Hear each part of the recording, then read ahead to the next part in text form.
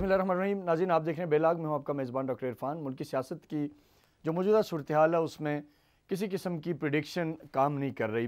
कई अरसे से एक चेमगोइयाँ थी कि इंतबात की तरफ़ मुल्क जा रहा है। फिर टेक्नोक्रेट सेटअप का एक शोशा इस्लामाबाद में छोड़ा गया। उसके ऊपर बड़ी बहस छिड़ी, लेकिन उसके बाद, वो भी अब तकरीबन मधम होता नज़र आ रहा है। आने वाले दिनों में हालात किस तरफ़ जाएँगे? सबक वजी अजम इमरान खान साहब को नज़र आ रहा था। कि मुल्क इंतबात की तरफ़ जाएगा। लेकिन अब जो पी टी आई के एक्शंस हैं, उनकी गुफ्तु है, उससे लग रहा है कि इमरान खान साहब को भी यकीन हो चला है कि इंतबात अब होने वाले नहीं हैं और इंतबात अपने वक्त पर होंगे। और अपोजिशन जमातें भी ये चाहती हैं, आज बिलावल जरदारी साहब की भी स्टेटमेंट है कि हम ये चाहते हैं कि इलेक्शन वक्त पे हों, ना उससे पहले और ना उसमें ताखिर को कबूल किया जाएगा। अब ऐसे सारी सूरत हाल में हुकूमती जमात के पास तो बहुत सारे एडवांटेजेस हैं गवर्नमेंट में हैं। और बहुत सी चीज़ें ऐसी हैं कि जिनसे वो अपने नरेटिव को, अपनी अपनी जो पॉलिटिकल स्टैंडिंग है उसको बेहतर कर सकते हैं। लेकिन इस वक्त की अपोजिशन और सबक हुकूमत और सबक वजी इमरान खान साहब के पास क्या ऑप्शन रह गए हैं? इस सारे स्नरियो में क्या कहीं बंद गली की तरफ़ जा रहे हैं? मुस्तबिल क्या होगा? ये सारे सवाल हैं जिसको आज के प्रोग्राम में डिस्कस करेंगे। हमारे साथ पी टी आई की M N A Nusrat Wahid हैं, जिनसे इस सूरत पे बात करेंगे। मैम, आपके वक्त का बहुत बहुत शुक्रिया। आपसे पहला मेरा यही सवाल है कि क्या देख रहे हैं, जो पिछले एक महीने की या पंद्रह दिनों की या दस दिनों की पीटीआई की कैलकुलेशंस थी, वो वक्त के साथ साथ साबित हो रहा है कि चीज़ें उस रुख पे नहीं जा रही जिस रुख पे खान साहब चीज़ों को ले जाना चाह रहे थे। तो अब क्या स्ट्रेटजी है? बिस्मिल्लाहिर्रहमानिर्रहीम, बहुत शुक्रिया खान साहब अपने प्रोग्राम में मुझे इनवाइट करने का। देखें सिचुएशन वाकई काफ़ी गंभीर होती जा रही है क्योंकि एक्चुअली जो मुक्तदर हल्के हैं जैसे अदालतें हैं या हम्म। नैब है या आप कह लें कि इस्टेब्लिशमेंट है और ये सारी चीज़ें मिल के एक मुल्क को आगे लेके चल रही होती हैं और उनके फैसले उनके जो भी डिसीज़न वगैरह हैं वो सब तो अब जिस तरह आपने बताया था कि अभी कुछ दिन पहले टेक्नोक्रेट्स की बात हो रही थी कि कोई हुकूमत उनके थ्रू बन रही है और फिर इलेक्शन का वो होगा हम्म। लेकिन वो वो सब कुछ खत्म हो गया वहीं पे अब जो इम्पोर्टेंट चीज़ है वो ये है कि जो बहुत ज़्यादा मतलब आप ये समझ लें कि दुख देने वाली बात है वो ये कि एक्स प्राइम मिनिस्टर का एफआईआर दर्ज नहीं होती और हम्म। जो उन्होंने कमेटी बनाई और उसके थ्रू जो चीज़ें हुई तो उस पर राना सलाउल्ला ने और उनके उस जो जिसने गोलियाँ चलाई थी बंदे ने उसके वकील ने ये कह दिया कि ये सारा ड्रामा था तो मतलब हमने हमने कब इस तरह की कोई बात की थी जब फजल रहमान के ऊपर तीन दफ़ा बॉम्ब के धमाके हुए या कोई इस तरह की चीज़ हुई कि खुद ही करवाया या फेक है या ड्रामा है या इस तरह की चीज़? उन्होंने अपने जख्म तक दिखा दिया जिसमें पीप भरी हुई थी। अब वो राना सनाउल्ला साहब फरमा रहे थे हड्डी ना टूटे तो दो हफ्तों में ठीक हो जाता है। भाई हड्डी हम्म। टूटी नहीं है चिप हो गई है। उनकी शिन की हड्डी चिप हो गई है जो मेटल लगा है उससे। और हड्डी के जुड़ने में और खासतौर पे इस उम्र में जब वो माशाल्लाह सेवेंटी ईयर्स के हैं इट टेक्स टाइम और हड्डी का जो दर्द है टूटने का उसको कोई इमेजिन नहीं कर सकता कि वो किस कदर तकलीफ़ होती है उसमें। तो नहीं देखिए डेफिनेटली ये सारी बातें हैं इसके ऊपर आपका टेक अपनी जगह ठीक है। लेकिन जो ये तो चलें एक केस है ये आगे बढ़ेगा आपका अपना मौकफ है गवर्नमेंट अपना है कई तरह के इसके अंदर से अब मिथ्स निकल रही हैं। मुख्तु तरह की बातें बरल क्योंकि ये एक इंसान की जान का मामला है। वो एक सियासी पार्टी के लीडर भी हैं, एक पॉपुलर लीडर हैं तो इसके ऊपर डेफिनेटली मैं समझता हूँ कि आपके अपने खदशात हैं, अपनी बातचीत है। लेकिन जो पॉलिटिकल सिनेरियो है, मैं उस पर थोड़ा सा जानना चाहूँगा कि अब क्या नज़र क्या आ रहा है पीटीआई को? क्योंकि जो आपको लगता था कि हालात जिस तरफ़ जाएँगे, प्रेशर काम करेगा, चीज़ें ठीक हो जाएँगी और पीटीआई के लिए हालात साजगार होंगे, लेकिन क्या आपको नहीं लगता कि गुजरते वक्त के साथ साथ हालात पीटीआई के लिए ख़राब होते जा रहे हैं। नहीं हालात ख़राब नहीं होते जा रहे। देखिए प्रेशराइज अगर करना होता है ना खान साहब ने तो वो उसको कर सकते थे इस तरीके से कि वो बिल्कुल इजाज़त दे देते कि अपनी आवाम को कि आप लोग जाएँ। या इस्लामाबाद जाने की बात हो रही थी इस्लामाबाद जाएँ। डी चौक पे जाने की बात हो रही थी डी चौक जाए। तो लेकिन हम्म। वो जो एक बहुत इंपॉर्टेंट बात करते हैं वो ये कि आवाम भी मेरी है पुलिस भी मेरी है फौज भी मेरी है। मैं इनको आपस में लड़वाना नहीं चाहता मैं खून खराबा नहीं करवाना चाहता। हालाँकि हम सब जानते हैं कि इनकलाब जो है बगैर खून के नहीं आता। इवन टर्की में जो हुआ था उसमें भी लोग बाहर निकले थे टैंकों के नीचे लेट गए थे और उसमें काफ़ी लोग फौत भी हुए। लेकिन लेकिन वो तो देखें टर्की का मामला थोड़ा डिफरेंट था। वहाँ तो एक मिलिट्री कू था यहाँ तो ऐसी कोई चीज़ नहीं है। जमहूरियत है एक आपकी हुकूमत के खिलाफ अदम एतमाद हुआ आपके अपने बंदे टूटे आप लोगों के खिलाफ वोट दिए एक नई गवर्नमेंट आ गई यहाँ तो तुर्की वाले मामले से मुवाजना ही नहीं बनता ना। जमहूरियत कहना बहुत ही मतलब जहका खेज बात होगी कि आप ये देखें कि वो जमहूरियत जो कि एक हम्म। अच्छी खासी चलती हुई हुकूमत के खिलाफ आप साजिश करके तेरह जमातें इकट्ठी हो रही हो, हो जाती है जिसके बारे में देखिए एक मैं नुसरत आपसे सिर्फ़ ये सवाल ऐड करना चाहूँगा कि 18 में जब आप लोग जीते तो कई पार्टीज़ ने कहा कि जी इन हल्कों में धांधली हुई है आरटीएस बैठ गया बहुत सारी बातें हुई लेकिन उस टाइम पे वो जमहूरियत थी और आप लोग उसको बड़ा अवामी राय कहते थे अवाम की ताकत कहते थे। अब आप कह रहे हैं जी वोट ऑफ़ नो कॉन्फिडेंस आया हमारे खिलाफ लेकिन ये जमहूरियत नहीं है। तो ये थोड़ा मैं, सा मैं आपको आप बताऊँ आरटीएस वाली बात आरटीएस वाली बात मैं आपको बताऊँ जहाँ पे आरटीएस बैठ गया था वहाँ पे हम लोग जीते हुए थे और नून लीग को जिताया गया था। पीपल्स हम्म। पार्टी को इंटीरियर में जगह जिताया अच्छा। गया था खान साहब का उस वक्त भी इतनी ज़्यादा उनकी पॉपुलैरिटी थी कि वो किसी बाँस को भी खड़ा कर देते ना तो वो जीत जाते जिस तरह कराची में हुआ है कराची में तकरीबन अननोन लोग थे जो कि जिनको टिकट दिया गया और वो सारे के सारे जीत गए क्यों इसलिए कि लोग चाहते थे कि चेंज आए लोग चाहते थे कि वो इंटीरियर में जतोई क्लैन रेंज क्लैन हम्म। पता नहीं कितने वो लोग जो जिन भाई बेटे वगैरह वगैरह वगैरह 98,000 96,000 रात को 11 हम्म। साढ़े ग्यारह बजे वो घर गए और सुबह वो हारे हुए थे और कोई और जीता हुआ था। अच्छा अब करने क्या जा रहे हैं आप लोग? क्या प्लान क्या? अगला क्या इरादा है? क्या हालात हैं? किस तरफ़ जा रहे हैं? क्या कर रहे हैं?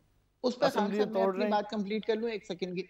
उस पर खान साहब बिल्कुल ये कहते थे कि आप कहें हम हल्के खुलवा देते हैं। लेकिन उन्होंने कहा ही नहीं इसलिए कि उनको पता था कि वो बेईमानी से हम्म। जीते हैं वहाँ पे। जो भी इनके जो आप कह दें कि जो इनके इतराजात थे वो। अब आप कह रहे हैं कि हमारा लाहे अमल क्या होगा? हमारा लाहे अमल फुल उसके साथ होगा कि हम लोग नहीं चाहेंगे किसी किस्म की तकरीबकारी हम लोग नहीं चाहेंगे कि अवाम मरे या कोई इस तरह की चीज़ों खून खराबा हो। वरना राना सनाउल्ला जितना बड़ा क्रिमिनल है उसके लिए तो मरना कोई फ़र्क ही नहीं पड़ता। सौ बंदे मर जाए दो सौ बंदे मर जाए उनको कोई फ़र्क नहीं पड़ेगा। लेकिन हम्म। मेरा लीडर मुझे पता है कि किस कदर एम्पैथेटिक हार्ट के साथ वो है कि वो बिल्कुल नहीं चाहेगा कि इस तरह की कोई चीज़ हो। वो एक बात एक डिमांड कर रहे हैं कि इलेक्शन अब हमारी एक और लाहेमल शुरू हुआ है महँगाई के खिलाफ। जो ये एक्चुअली ये लोग इन लोगों ने शुरू किया था महँगाई महँगाई महँगाई करके। और आपको पता है उस महँगाई का क्या हुआ? कि हमारे जमाने में जो था उससे डबल ट्रिपल हो गई है। तो अच्छा। अच्छा क्या? आपको नहीं पता? अच्छा।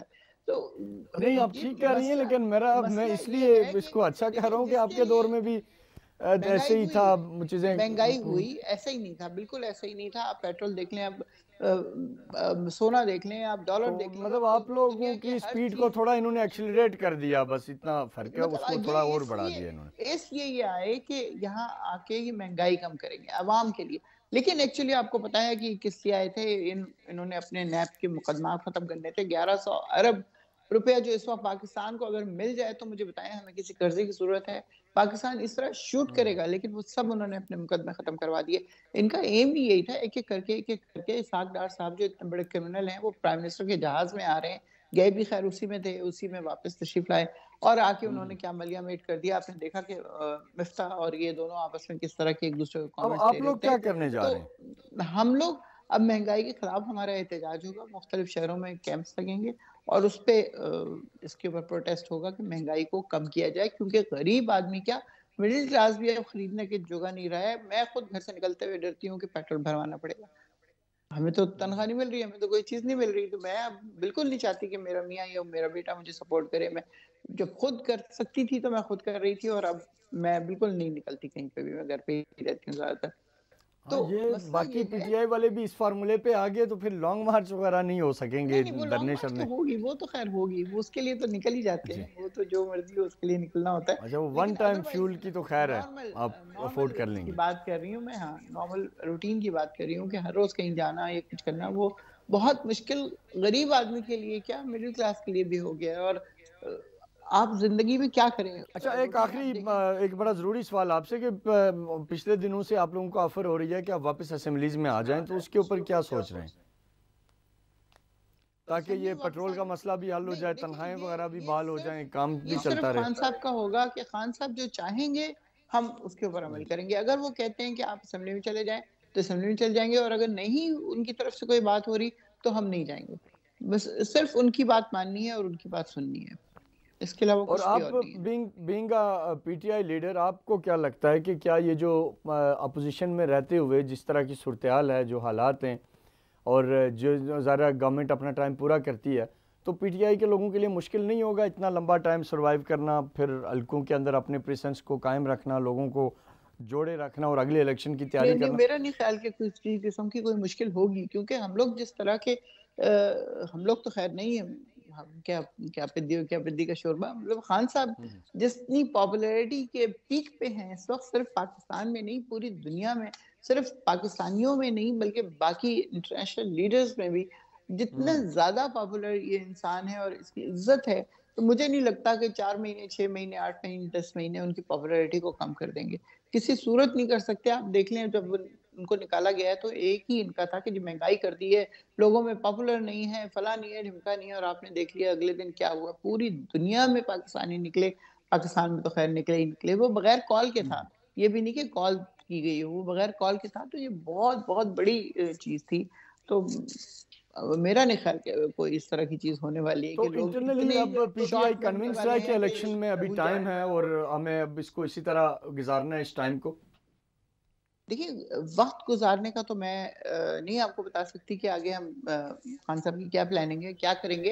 हम्म। लेकिन खान साहब का इतना मुझे पता है कि वो लोगों के दिलों में हैं और ज़िंदा रहेंगे। ऐसा नहीं है कि वो अगर बैठ जाएँगे और बाहर नहीं निकलेंगे या खुदा न खासा किसी किस्म की कॉल नहीं देंगे तो लोग उनको भूल जाएँगे। इतनी शॉर्ट मेमोरी नहीं है लोगों की लोगों को पता चल गया। अवेयरनेस हम्म। देखिए कितनी ज़्यादा लोगों में है। अगर आप किसी भी घर के माली से चपरासी से मासी से बात करें दे नो एवरीथिंग कि वो बाकायदगी से ऐसे बात करते हैं कि हैरत होती है देख के कि मतलब इन लोगों को भी सब कुछ पता है।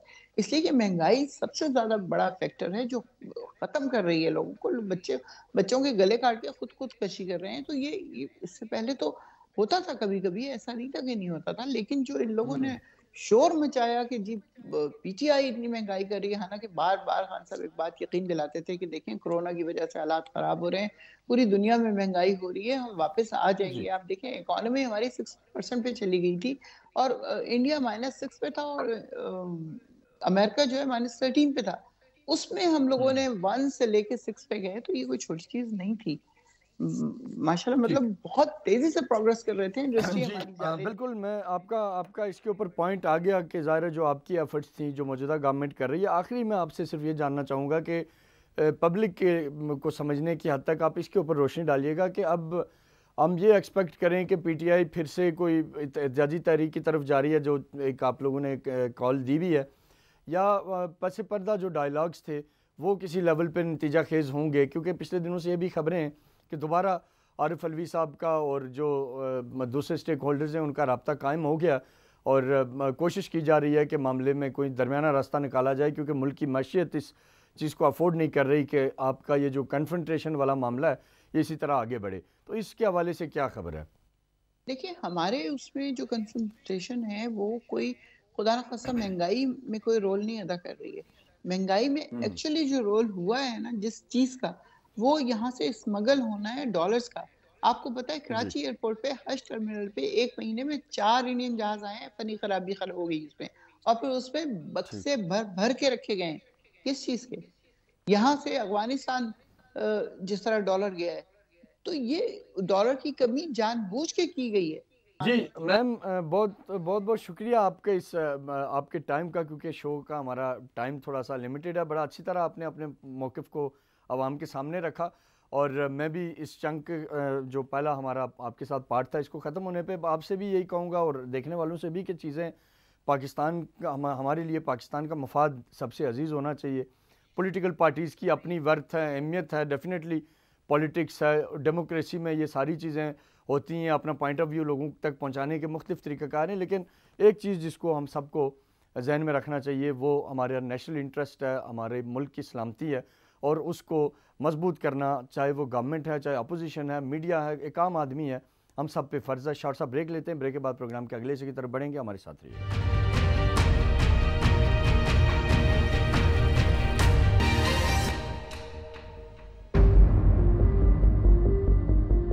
वेलकम बैक नाजीन ब्रेक से पहले हमारे साथ पाकिस्तान तरीके इंसाफ की एम एन ए थी, जिनका ये ख्याल है कि मुल्क में मसाइल का हल सिर्फ़ और सिर्फ़ कबल वक्त इंतबात है। और इमरान खान साहब जो फैसला करेंगे, पाकिस्तान तरीके इंसाफ पूरी की पूरी उस फैसले को ऑन करेगी और पी टी आई ये समझती है कि मौजूदा हुकूमत नायल है और ये मुल्क को माशी बुरान हल करने के बजाय मजीद बुरान की तरफ़ जा रही है। इस सारी सूरत पर बात करने के लिए हमारे साथ पी एम एल एन के सीनियर रहनमा सदीक फारूक साहब मौजूद हैं। सदीक साहब, आपके वक्त का बहुत बहुत शुक्रिया। आपने अपना कीमती टाइम दिया। सर गवर्नमेंट क्या एक, आप नहीं समझते कि गवर्नमेंट एक बावर में फंस चुकी है? आप ना तो कबल वक्त इलेक्शन का फ़ैसला ले सकते हैं और अगर बर वक्त इलेक्शन होते हैं तो भी चीज़ें आपके काबू में नहीं हैं, ना आप डॉलर कंट्रोल कर पा रहे हैं, ना मैशियत ठीक हो रही है, इम्पोर्ट रुकी हुई है, मसाइल बहुत ज़्यादा हैं, डॉलर मुल्क से शॉर्ट है तो किस तरफ़ जा रहे हैं हालात, क्या देख रहे हैं आप? रहीम डॉक्टर बहुत शुक्रिया। पहली बात तो ये है कि पीटीआई अब उनकी जो पॉपुलैरिटी थी कभी, इमरान खान के मौके और वो सारी चीज़ें एक्सपोज होकर सामने आ गई हैं। अब आ जाइए इस बात पर कि हम इलेक्शन जल्दी बजाय इसके कि हम अक्टूबर में कराएँ या नहीं। अगस्त को इस असम्बली की मुद्दत पूरी हो और उसके बाद केयर टेकर गवर्नमेंट बने। इसमें गुंजाइश है कि हालात के मुताबिक एक्सटेंशन भी एन आइन के मुताबिक है अगर हम उस तरफ़ गए। लेकिन हम इनशाला इलेक्शन अपने वक्त पर कराएँगे। पीटीआई मुतालबा करती है पहले। पौने चार साल में आपने तबाह किया आपने डायनामेट लगाया मीशत को हम उसका इकट्ठा करके मीशत को ठीक कर रहे हैं। आप कहते हैं कि नहीं आप अभी करें तो आप मैं शौकत तरीन के बयान का हवाला दूँगा जो उन्होंने अप्रैल इसी 2022 में दिया कि जनाब इमरान खान के पास तो कोई माशी प्लान ही नहीं था। तो इसलिए इमरान खान को अगर खुदा न खास्ता दोबारा आ भी जाए हम्म। ये का और कानून का सामना किए बगैर तो भी इनके पास कोई प्लान माशी नहीं है। हम ये कहते हैं कि मुल्क के लिए मामला दुरुस्त करें हमने इन्हें वज़ीर आज़म इमरान अपना नवाज़ शरीफ शहबाज शरीफ साहब ने हम्म। दस अप्रैल को हल्फ उठाया। उसी वक्त जो एड्रेस किया ये कहा कि आइए ग्रेटर अपना ग्रैंड डायलॉग के लिए। उन्होंने माशी जो है वो चार्टर की भी पेशकश की। तो ये हमारी पेशकशें थी। इसके मुकाबले में जब ये मरकज में थे हुकूमत में और हम अपोजिशन में हमने साथ दिया था इनका तहरीक लब्बैक के धरने में सारे हम मुस्लिम लीग नून पीटीआई अपना पीपल्स पार्टी सब साथ खड़े हो गए थे। और हमने उन्हें नहीं गिरने दिया। हमने कोरोना में इनका साथ दिया। इमरान खान तकरीर करके चले गए और उन्होंने लीडर ऑफ़ द अपोजिशन की तकरीर नहीं सुनी। हमने जितनी पेशकशें की उन्होंने हाथ तक नहीं मिलाया। इसलिए इमरान खान साहब का रवैया अलग है हमारा रवैया अलग है। ये बताएँ जैसे आप फरमा रहे हैं कि इमरान खान के पास कोई माशी प्लान नहीं था कोई टीम नहीं थी आप तो कह रहे थे कि जी हमारे पास बड़ी अच्छी टीम है हम बहुत तजर्बाकार हैं हम मामला को समझते हैं ठीक कर देंगे। मुफ्ता साहब को आप पहले ले आए वो वो अब परेशान फिर रहे हैं। अब इसाकडार साहब हैं सीट पे कुछ नहीं बदल रहा कुछ बेहतरी नहीं आ रही तो इसके हवाले से क्या कहेंगे आप? नहीं प्रॉब्लम तो ये है कि मीशत को तो तबाह कर दिया। हमने जितने इकदाम किए उसमें अब आ गई दो लोगों की बात। मिफ्ता इस्माइल साहब इकोनॉमिस्ट हैं। He took steps by the book जो माशी इस्तेलाह अपना उसूल किताबों में लिखे हैं उन्होंने उसके मुताबिक किया। और बुनियादी बात आईएमएफ का वो प्रोग्राम है जो इमरान खान ने दस्खत करके उससे पीछे हटे और उसका बुरा इम्पैक्ट हुआ। लोग पे मानने के लिए कोई तैयार नहीं था। हमने तीसरे दिन आईएमएफ का मुतालबा शुरू हो गया कि कीमतें बढ़ाएँ टैक्स बढ़ाएँ ये करें वो करें जो उन्होंने दस्खत किए हुए थे। कि ये आपकी जो इमरान खान को हम नहीं जानते, हम पाकिस्तान को जानते हैं ये पाकिस्तान का की कमिटमेंट है हमने वो सारे किए, उसके नतीजे में महँगाई आई मीशत खराब थी, महँगाई आई अच्छा उन्होंने छह महीने कर लिए, वो तो दो दिन पहले की बात है, फिर उसके बाद उन्होंने वज़ीर खजाना तो नहीं रहना था क्योंकि छह महीने तक एक आदमी नॉन इलेक्टेड रह सकता है ना। फिर उनका इलेक्शन होता, हमने तो उन्हें मुस्लिम लीग नून ने कराची से टिकट दिया था, वो इलेक्ट नहीं हो। सके अब इसहाक डार साहब से आपने कहा कि बहुत सी चीज़ें जो हैं वो एग्जाम्पन कोई एग्जाम्पन नहीं थी। हाँ सदीक साहब ये आपकी बात तो अपनी जगह लेकिन मुफ्ता साहब ने अभी एक और बात की इल्ज़ाम लगाया। उन्होंने कहा जी क्योंकि नवाज़ शरीफ साहब के करीबी रिश्तेदार हैं इसाकदार इसलिए उनको अकोमोडेट किया जा रहा है। और उन्होंने ये भी कह दिया कि इमरान खान साहब एक बड़े अच्छे लीडर हैं। तो इसको आप कैसे देखते हैं? पी कैसे देखती है? पहले तो मैं ये अर्ज़ करूँगा कि हम्म। उन्होंने खुद पहले कहा था कि मेरे पास छः महीने हैं। ये मैं मुद्दत पूरी कर सकता हूँ या नहीं उनकी बातें देखें मैं उनका एहतराम करता हूँ।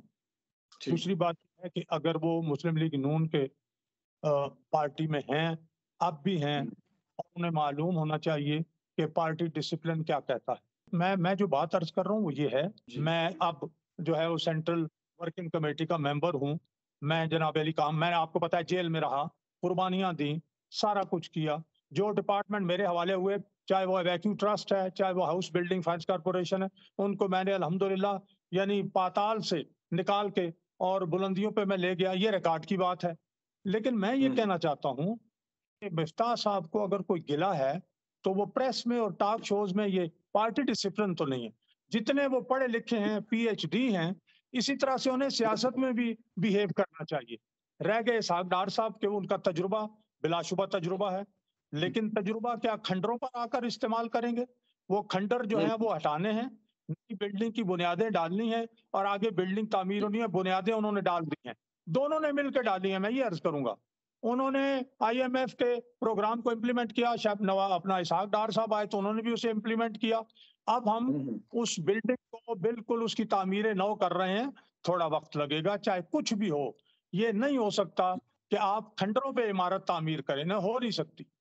सर, देखें, अगर लोग पीटीआई को लेट्स सपोज़ आप जैसे फरमा रहे हैं कि वो कह रहे हैं कि हम इस्तीफ़े नहीं देना चाहते तो आप इस्तीफ़े कबूल कर लें। इस्तीफ़े तो ऑलरेडी आपके पास जमा हैं, स्पीकर को कहें और सबके इस्तीफ़े कबूल करें। बहुत अच्छा आपने।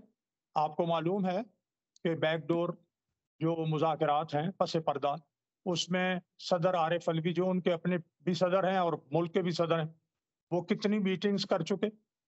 हमारे साथ भी उनके साथ भी बल्कि वो तो यहाँ से लाहौर भी गए दो दफ़ा। हम्म। और उनके जो दो तीन मिनिस्टर थे फेडरल सबक वो हमारे मिनिस्टर से मिले कई दफ़ा मिले। तो। लचक कहाँ नहीं जिद कहाँ है? हट धर्मी कहाँ है? मैंने अभी आपके सामने ये बात की कि हमने अपोजिशन में भी जिद और हट धर्मी नहीं की। हमने अब भी उन्हें ये कहा कि आप आ जाएँ पार्लियामेंट में। सदीक साहब, देखें, एक बड़ा अहम सवाल मैं आपसे करना चाहूँगा कि आप नहीं समझते कि इस वक्त ये ज़ाती अनाएँ छोड़नी चाहिए, मुल्क के लिए सोचना चाहिए। राना सनल्ला साहब को धमकियाँ नहीं देनी चाहिए इमरान खान साहब को कि अगर आप असम्बली में नहीं आएँगे तो हम आपको मत जेल भेज देंगे, बल्कि ज़रूरत ये है कि आप उनके साथ बैठें, बात करें मामला को हल की तरफ़ लेके जाएँ, इकानमी के ऊपर बात करें, एक ऐसा मिसा के मैशियत करें जिसके ऊपर चीज़ें ठीक हों। आप इस बारे में क्या कहेंगे? वो तो वो तो वो तो एक पॉलिसी है ना जी। वो इसलिए कि लोग उनके हमें टेलीफोन करते हैं। वो प्राइवेटली अच्छा। मिलते हैं कि हमारे इस्तीफे कबूल ना करें। मेरा आखिरी सब जवाब भी है जुमले दो सुन लें कि जब 19 अपना 2014 में पिशावर का एपीएस का आर्मी पब्लिक स्कूल का सानिया हुआ 16 दिसंबर का तो नवाज़ शरीफ साहब ने ऑल पार्टीज़ कॉन्फ्रेंस बुलाई।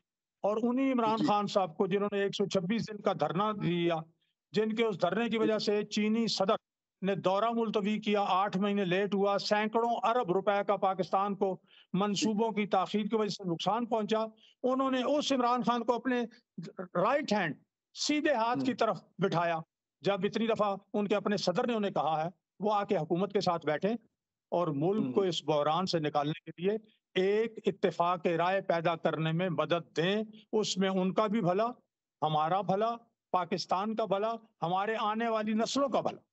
बहुत शुक्रिया सदीकुल फारूक साहब, आपके कीमती वक्त का। नाजीन आज के प्रोग्राम में हमने हुकूमती जमात और अपोजिशन दोनों का मौक़ आपके सामने रखा।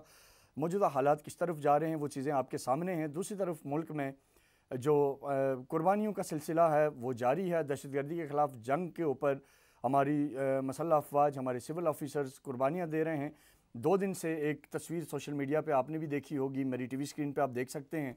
आईएसआई के सरबरा जनरल नदीम अंजम अपने शहीद होने वाले डायरेक्टर नवीद सादिक के, के की जो तदफीन है उसमें शरीक हुए। उन्होंने शहीद को कंधा दिया।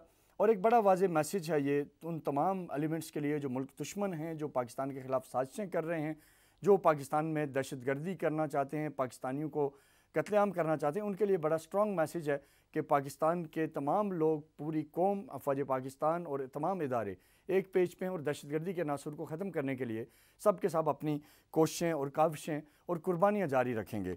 जो डायरेक्टर नवीद शहीद हुए हैं, इनके बारे में जो मैंने अवेलेबल इन्फॉर्मेशन है, उसके मुताबिक ये 16 साल तक हसास इदारे के साथ मुंसलिक रहे। पंजाब में दहशत गर्दी की कार्रवाइयों दहशत गर्दों के ख़िलाफ़ इनकी जो कार्रवाइयाँ हैं, वो बड़ी मिसाली हैं। इन्हें पाकिस्तान का सेकेंड लार्जेस्ट सिविल अवार्ड से भी नवाजा गया है और इनकी जो ऑल आउट जो एफर्ट थी वो काउंटर टेररिज्म के अंदर थी। इन्होंने दहशत गर्दी के खात्मे में इन्होंने दाइश के नेटवर्क को और इसी तरह दिगर कलदम तंजीमों के नेटवर्क को पंजाब से ख़त्म करने में बड़ा कलीदी किरदार अदा किया है। इनकी योम शहादत के हवाले से तीन जनवरी को ये दहशत गर्दों के साथ मुकाबले में शहीद हुए और अपनी लाइन ऑफ़ ड्यूटी में शहीद हुए और अपने मुल्क को दहशत गर्दी के नासूर से पाक करने के लिए उन्होंने अजीम कुर्बानी दी है। और D G I S I का इस एक्टिविटी के अंदर जाना, उन्होंने वहाँ जाके जिस तरह अपने जवानों का हौसला अफजाई की है, उनकी एक तस्वीर बड़ी वायरल हुई है जिसमें वो शहीद के बच्चे को उन्होंने उसको प्यार कर रहे हैं, उसको हौसला दे रहे हैं। तो ये बेसिकली अफवाज पाकिस्तान का वो तुर्रा इम्तियाज़ है, वो खूबी है जो इन्हें दुनिया की दूसरी तमाम अफवाज से मुमताज़ करती है, क्योंकि यहाँ ऑफिसर्स खुद आगे बढ़ के कुर्बानी देता है, यहाँ ऑफिसर फ्रंट से लीड करता है। ये दुनिया की वो वाद फ़ौज है जिसके जर्नल्स भी इस मैदान मैदान में शहीद हुए हैं, जिन्होंने दहशत गर्दी के ख़िलाफ़ लड़ते हुए कुर्बानियाँ दी हैं। तो आज मैं समझता हूँ कि जब पाकिस्तान में एक दफ़ा फिर से इंडियन स्पॉन्सर टेररिज्म सर उठा रहा है, वक्त है कि कौम, मीडिया, तमाम तबका फ़िक्र के लोग आपस में इतिहाद इतफाक़ का मुजाहरा करें, क्योंकि ये जंग किसी एक की नहीं है, किसी एक इदारे की नहीं है। ये पूरी पाकिस्तानी कौम की जंग है, जिसे हम सबको मिल कर लड़ना है, पाकिस्तान को पुरमन बनाना है। और पाकिस्तान को तरक्की याफ्ता बनाना, अपने मेज़बान डॉक्टर इरफान को इजाज़त दें। कल आपसे फिर मुलाकात होगी। तब तक के लिए अल्लाह हाफिज़। पाकिस्तान पाइंदाबाद।